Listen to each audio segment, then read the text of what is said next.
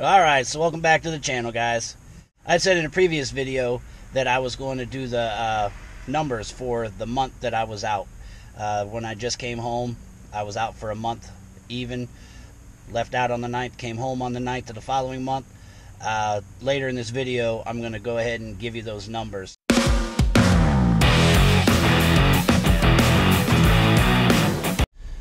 Alright guys, so I'm still home. Today is Wednesday, October 13th probably taking one more day off, man, because I'll tell you what, there's not enough time in the day to do everything you want. You, when you're imagining it, how it goes, it seems like, oh, I can pound that out, bang that out, do this, do that, have time for this.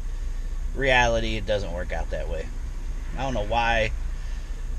As long as I've been doing this, I don't know why I continue to think that way, but it still ends up that way. So, uh, Saturday, I did waste a day Saturday, if you want to call it waste. I didn't didn't do shit. I just kind of vegetated all day, just hung out at the house uh, with the wife. But Sunday, got the diesel heater installed in the 2011. uh, did not get the battery system installed because uh, I wasn't. I was undecided on the battery. The only one I could find in stock was a uh, Duralast or a, no Duracell Duracell uh, Deep Cycle and that one ran 250 bucks. The other ones that I've used before were roughly around 150, 130 bucks. Uh, so I was trying to find those, and and looking at the batteries, the ones that I was going to get that were cheaper, they're the plated lead lead acid batteries, and uh, the AGMs are supposed to have a five to ten times slower draw and they're supposed to have a five to ten time the uh, charging cycle of the regular plated ones. So I'm gonna give the I'm giving it a try. I bought one. I did buy one. I bought it at Batteries Plus. Uh, so any of you guys that are looking for batteries, Batteries Plus, they actually had both time both kinds. They actually had one in there that was the uh, plated for 129 dollars, 100 amp hour. Uh, the one I went with is 105 amp hour AGM. So I'm going to see how that works out, and I'll let you guys know on that. I'll have a little more information when I do the video on the uh, battery install of the uh, 2011, which somebody else is doing. So it's basically going to be the after after install, not the uh, actual installation of it. But I will explain how everything was done. I had other appointments to take care of. That's why I couldn't do the battery myself. Uh, I did replace the diesel heater in the 2017, which that turned into being a real cluster. Uh, and again, I'll explain that a little more in another video. Uh, it should have been real easy, but that was the first one we installed, and it just, like I said, I'll get into it later. Uh, met with my accountant yesterday morning, get a few things taken care of. Got the van, got the alignment done in the van. Uh, I've got the 2011 also being looked at for the uh, for the uh, oil leak. Got a slight oil leak in it. I mean, 700 and what 723,000 miles somewhere in that neighborhood is where I'm at with that van. Um, got the flex disc replaced, oil change done on both vans. As far as the alignment goes, I was kind of surprised that it wasn't out much at all. I mean, everything was actually pretty good. And I had ran roughly, fuck, uh, it, it, was over 14,000. I ran over 14,000 miles on this between uh, alignments. And just, there's how everything turned out. Hopefully you can see that well.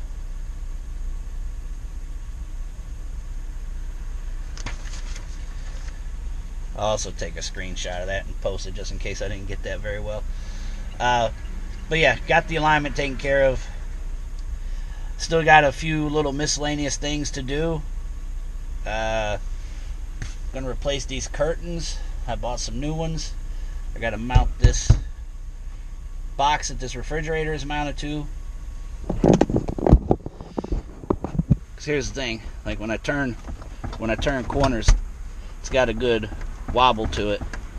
So I gotta push that back in place uh, a little bit better, and then I'll mount that this box down. So I'm gonna go ahead and get to that. I'm gonna get these curtains replaced. I'm gonna get that box mounted, and then I will check back in. All right, so here's the box. Scooted it back to get close to here. So that's what I'm gonna do. I'm gonna put on two for right now. See how well that holds it. Actually, I'll probably throw a third one right there.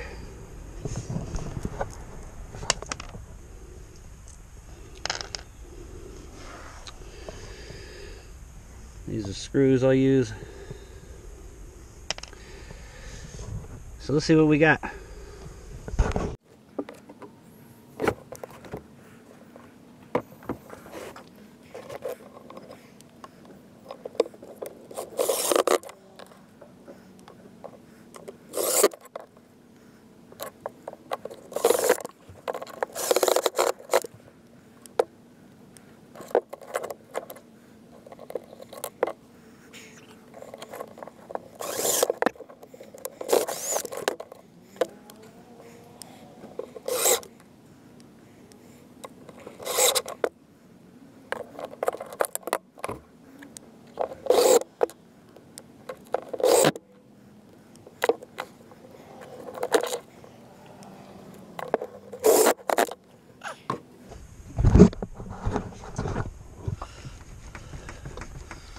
Oh yeah. Yeah, that's a lot better. Still gonna have a little wobble, but definitely not like before.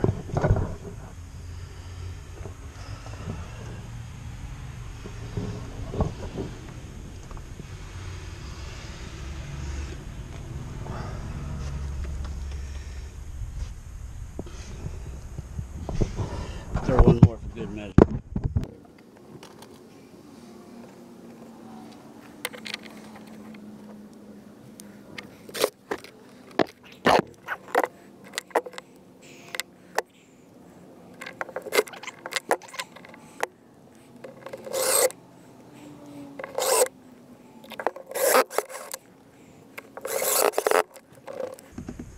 And good to go.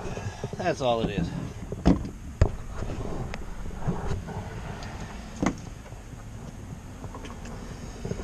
Now the curtains I was telling you guys about right here. And again, there's a link on my Amazon page for this. Uh, these are 52 by 54. Two panels.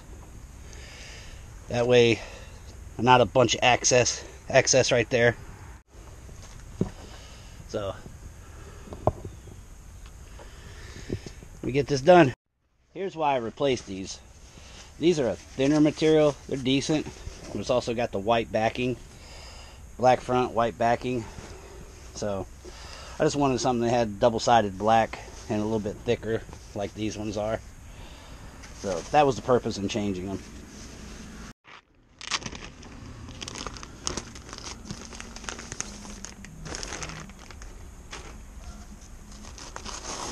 Oh, not happy about that. What the?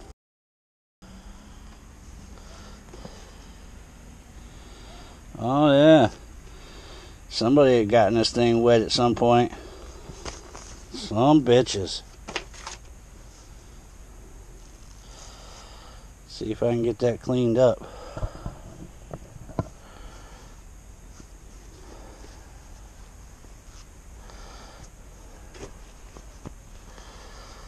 But it is what it is. Two panels. Alright. Alright, so here it is.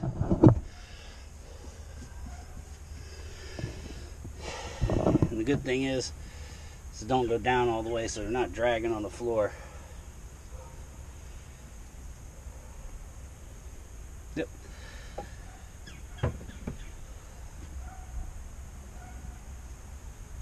Yeah, I like those. I like the double-sided black. It'll keep it a little bit darker back here when I want it dark to sleep. All good. Chill. So I just came home after being out for a month a few days ago. So I'm going to give you guys a recap of that month. Uh, for those of you that are interested, here they go. The loaded miles for the month was 13,978. The gross pay was $13,988.85. So that comes out to a dollar, just a shade over a dollar per loaded mile. My deadhead, this is everything combined. This is relocate, deadhead, everything combined. Uh, those total miles was 1,700 miles. I actually didn't do any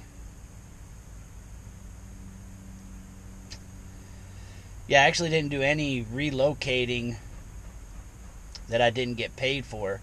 Uh, the one relocate that I did was coming out of Texas going up to the office, but they ended up, uh, the next load they got me, they ended up paying me on that. So, uh, other than that, yeah, I didn't really relocate that I can recall.